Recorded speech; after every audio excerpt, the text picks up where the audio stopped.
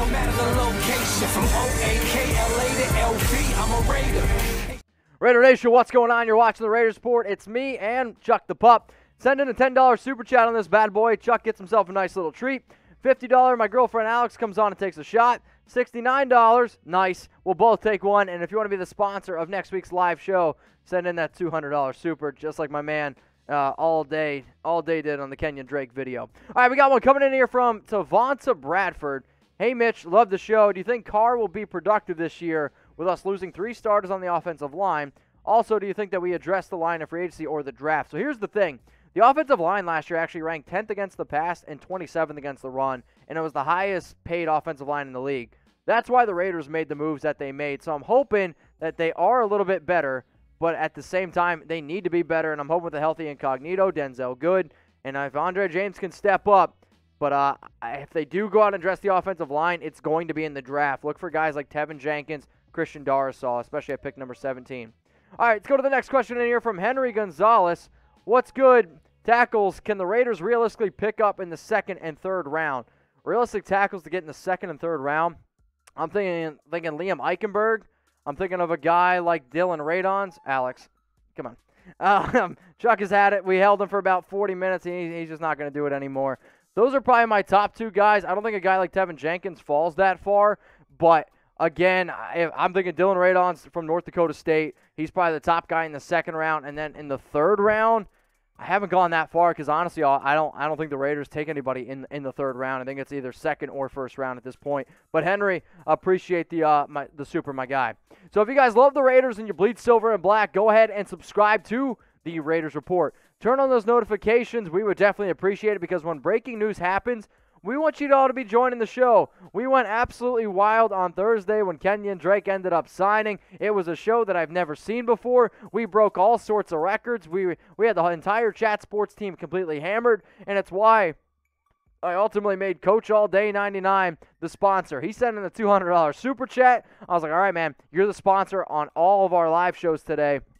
All of our live shows basically the entire week. So shout out to Coach All Day 99 for being one of the OGs. But if you did miss the breaking news, it's probably because you're not subscribed. If you had no idea that the Raiders actually signed Kenyon Drake or if they made any of their moves, hit that big red button underneath the video and subscribe to the Raiders Report and turn on those notifications.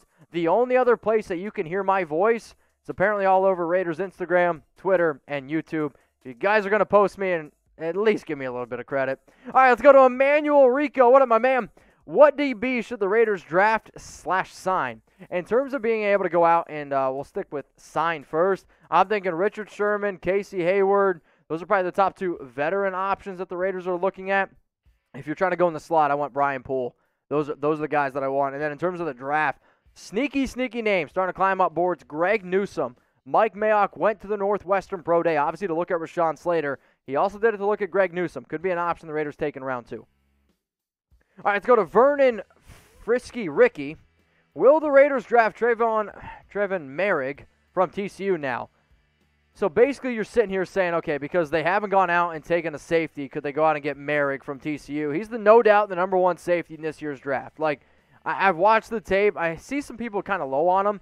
My big concern is this: I, I don't know if I want to take him at 17.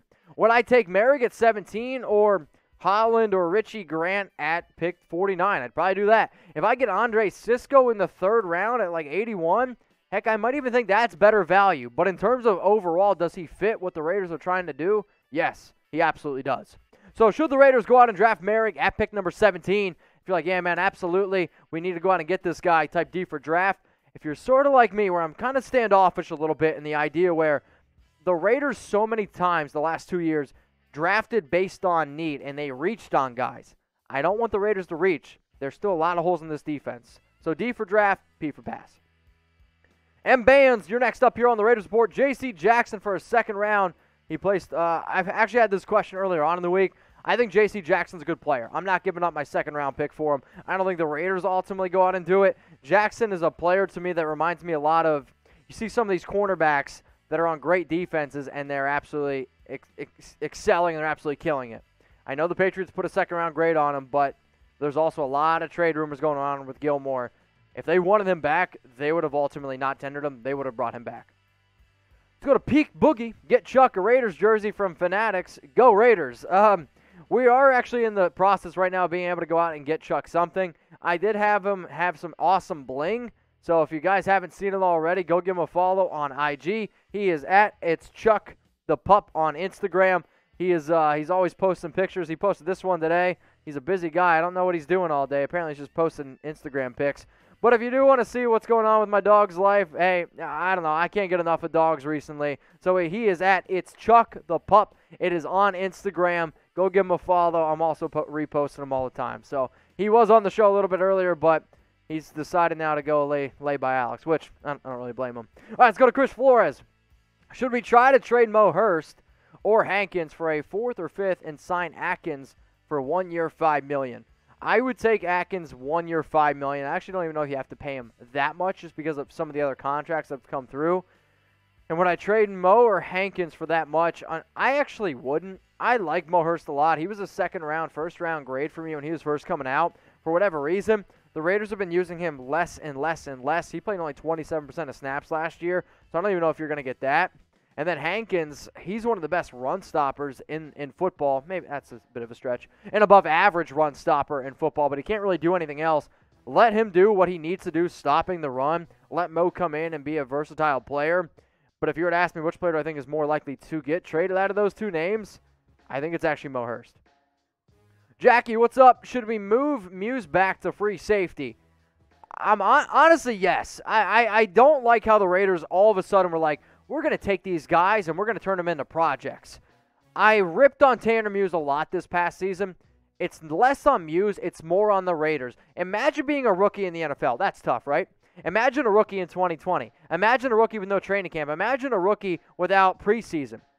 Man, like that's a tough thing to be able to ask somebody. I understand they traded up for him. They saw him coming out of Clemson. They liked him a lot.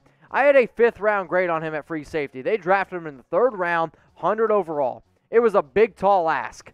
And especially with that crazy of a year, you have Javin White, you brought back Nicholas Morrow. I would be much rather putting Tanner Muse back at free safety. I still think he's better than Dallin Leavitt. And if you have him there at free safety, you can also use him in special teams, sort of like a guy like Dallin Leavitt. All right, Jake Powers, what's up, my man? Trade up in the second for an elite wide receiver like Terrace Marshall. See, the issue is you said trade up and Terrace Marshall. I don't see Marshall being an elite wide receiver. He's a good receiver, He's not elite in my opinion. Get a vet safety in free agency, draft another safety in the third. Eh, the the most ideal safety in the third to me is Andre Cisco. If you're looking for a vet safety in terms of most realistic, look for a guy like Ricardo Allen, also a name like Tre Boston. But appreciate the question there, Jake Powers. All right, y'all. So who would you guys draft at pick number 17? I obviously have the Raiders have pick number 17 in the 2021 NFL draft. A lot of different ways where they can go. I still think that offensive line is definitely a possibility now. You could also even still look at safety, maybe even linebacker still up there, edge rusher. Still a lot, a lot of holes that need to be filled. That's what she said. All right, Elias, what's up, my man? Should we draft Alijah Vera-Tucker, offensive lineman from USC, at pick number 17? That's a little bit too high for me. I know I've seen it in recent mock drafts, or at least where Vera-Tucker ended up going to the Miami Dolphins at pick 18. He's a good player but that's just a little bit too high of a pick. That also means then Christian Darrisaw is off the board. That means Teven Jenkins is off the board because everybody that I know and everyone that I talk to, they're a lot higher on Jenkins. They're a lot higher on Darrisaw. And if Rashawn Slater's still there, forget it. So give me Samuel Cosmi over Vera-Tucker because guard's not really the biggest need that we have right now. Pats one S is Richard Sherman playing safety or us even a possibility? Is it is it a possibility that he plays with the Raiders? Yes, it is. He wants a two year contract. That's what he wants. He just wants way too much money right now. And I know sometimes people are like, oh, he can play safety. The, the problem is he's not built to be a safety that the Raiders need. He's built more to be a versatile corner slash safety since he's getting up there in age a little bit. If you're changing your position, that's not always a good thing, especially when you're 32 years old. Does Sherman know the defense? Yes, absolutely.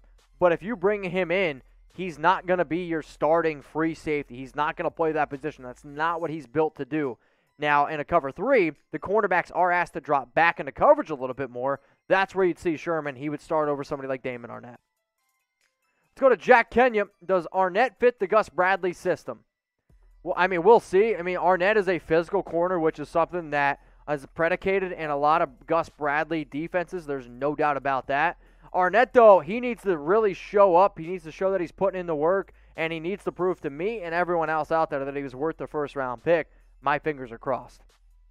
All right, y'all. So if you want to get your questions on the show, you got to use hashtag Raiders or you can super chat. That way, that tells producer Sam which questions to get thrown up on the big screen. If we don't get to your question, just means there's a lot of people in there. So please be patient. If you haven't gotten your question on the show yet, or if you want to talk to me, my DMs, they are always open. I am at Mitchell Renz 365. And the other reason why I always tell people to hit me up, I'm always down to have a good time. So shout out to Mark, his wife. She messaged me and said, "Hey, we're gonna be in Dallas, Texas. You want to go out and grab a drink, dude?" I was I was there. I brought some buddies. We had a good old time. Had a few beers. I gave him some Raiders gear. It was a great time. Mark, thank you for coming out for the hospitality. It was awesome. Also, I met another Raiders fan this weekend. He was like, "Dude, your hair looks terrible." Come to my barbershop and I'm going to get you set up. So shout out to Manuel. He gave me this nice little haircut that y'all see right here. Manuel, talk to your bosses. Maybe we can get a nice little sponsorship deal going on. We'd appreciate it. But again, that's why I always tell y'all to hit me up on IG. I check my DMs and I love getting to know the nation. Let's go to El Baltazar Perez. What do you think of Jaylen Twyman from Pittsburgh? Pit U. He's been called Aaron Donald 2.0. Would you take him at 17? Trade back, no interest. Well, Aaron Donald wasn't taken in the first round. I have heard the whole Aaron Donald 2.0 comparison things, but Donald was taken in the first round. I was thinking of another name. However, I I am not going to take him at pick 17. That's just way too high. The best player from Pitt, I don't even think it's like there's been a lot of players from Pitt that have uh, a lot of people have been talking about. I can't think of the edge rusher's name. It's escaping me. Patrick Jones. Thank you, Sam. I don't like what I see from Patrick Jones. If, if you want a smaller school guy, and I say smaller in quotes here, I love Boogie Basham. Boogie Basham is a phenomenal, phenomenal player, but it's not the defensive tackle that I personally want. It's not the tackle that I think the Raiders go out and get. All right, what up, Danny518? Give me a draft day trade and who the Raiders pick. So it's funny that you actually bring this up. We were talking about this earlier on in Chat Sports Studios, and we were coming up with all these different ideas. How about this trade idea, okay? The Raiders, them and the Jags, the Jags were sitting there like, all right, do we want a safety? Do we want an offensive lineman? What do we do? Would you guys pull this trade off? So the Jags give the Raiders 25th overall and 33rd overall. The Raiders give Jacksonville 17. If this is the type of move that goes down, what I'm trying to be able to show y'all now is ultimately some of the picks that the Raiders could make. So at pick number 25, I took Tre- Trevon Moehrig from TCU at pick number 25, the safety. Then I went Teven Jenkins, who actually fell to me in my mock draft at 33. I don't know if he falls that far. And then Greg Newsome the third out of Northwestern. So let me know what y'all think about this. Grade this A, B, C, D, or F. Go down in the comments section. You got Moehrig, the top safety at 25. I got Teven Jenkins, who I actually think reminds me a lot of Kolton Miller in the sense of just give him time, give him some, give him some time to ultimately grow into his body. And then Greg Newsome out of Northwestern. Raider Nation, what up? Uh, should we draft or could we take Patrick Surtain and make him play free safety? You're not going to do that with Surtain, and you're not going to be able to get him. He's going to be gone before pick number 12. I don't see the Raiders trading up that far. Darren Hernandez, rate Yannick 1 through 10 as a player, 8.5. He's one of the only players, I believe, first five years to have over eight sacks in every single season. Also, since 2016, the only player that has more quarterback pressures than Yannick Ngakoue is one, Aaron Donald. Let's go to the next question coming in here from Timothy Mullen more likely that the Raiders finish second or last in the division. What do I think is more likely? I'm probably going to end up going with second just because I don't think that they finish last. I know the Broncos defense is scary, but uh, they're also picking up players that are a little bit at the end of their years. That's all I'm saying. The Chargers, I still can't fully invest in them being better than the Raiders. If you were to tell me the Raiders finish third in the division, I actually wouldn't be totally, totally surprised. I do think the Broncos, if Drew Lock can get his shit together, that Broncos team's going to be good because that's all they're missing is a quarterback. They have everything else minus a quarterback. If the Chargers take that next step and they can keep Justin Herbert healthy, that really changes up thing as well. But Timothy, I like your question. All right, so fill in the blank here. The Raiders will finish blank in the AFC West in 2021. If you think they're going to finish first, type 1. If you think they're going to finish 2, type 2, 3, 3, fourth, fourth. Go down in the comment section right now. Fill in the blank. The Raiders will finish in the AFC West in 2021. All right, y'all, if you want to get your questions on the show, you got to use hashtag Raiders or Super Chat. We are almost done here with this live show. Do you think Jonathan Abram is going to be consistent with the linebacker position? He's not going to play linebacker. He's going to play box, which, what does that mean exactly? It means for a safety, you can come up into the box a lot more, and he's going to be used kind of like the way that the Seahawks used Jamal Adams this past year. They're going to pass rush him a lot more. They just don't want him dropping back into coverage as much. So, like, in the idea where let's say you have a guy like Richard Sherman, right? You have Richard Sherman as your cornerback. If Abrams coming up, this now gives you ability for Richard Sherman to drop back. He's not going to just strictly play linebacker. He's going to play safety and he's going to play linebacker. Look for Jamal Adams. That's the type of role he's going to play this year. Go to Doug Kendall. If Mitchell Schwartz is healthy, then you sign him in a heartbeat. I'm, I'm with you. When he's healthy, he's a Pro Bowl tackle. And even though I would love for the Raiders to take somebody in the draft and have them turn out to be a guy like Colt Miller, that's not easy to do, and there's still so many holes on this defense that I want them to ultimately be able to invest in that defense. But yes, Mitchell Schwartz is healthy, man. You uh, you go ahead and you make that move ASAP, Rocky. Shout out to Sam. All right, we got another one coming in from Darren Hernandez. Should the Raiders draft Jaycee Horn and Holland at 17? Well, you can't draft both of them at 17. But uh, if Jaycee Horn from South Carolina fell to 17, it's definitely a player that I think the Raiders would have in mind basically in every single mock draft, he's been going in the top 16, normally to the Arizona Cardinals. And then Holland, Holland's more of a pick 48 to me. The fact that he opted out could actually drop his draft value a little bit. It is definitely something to at least keep in mind, but it, it, Jaycee Horn over Holland. All right, we got Zach Hewitt. What up, Mitch? If we go out and get Malik Hooker and draft a top offensive tackle, TJ or CD, what is our record next year? Also, how old is the dog? Uh, Chuck is 11 weeks old. Literally just got him like three weeks ago, so he is 11 weeks old. He's chilling right now. Malik Hooker and draft the top offensive tackles with Teven Jenkins or Christian Darrisaw. I'd still rather have Darrisaw because I think he's a little bit more of a polished product, but I do think Teven Jenkins might have the higher upside. And yes, all about Malik Hooker. Got a super chat coming in here from Jonathan O. If we can't sign a proven vet, is Conley worth bringing back for depth? If you're talking about Gareon Conley, I'm going to respectfully say no. I want no part of Gareon Conley. He was uh, an absolute disaster. I know he's a former first first round pick, 17, which uh, has not been very kind to the Raiders in the past, but I- am good on Conley, man. Like he, he never wanted to be a Raider. He didn't seem like he worked that hard. I- I'm good.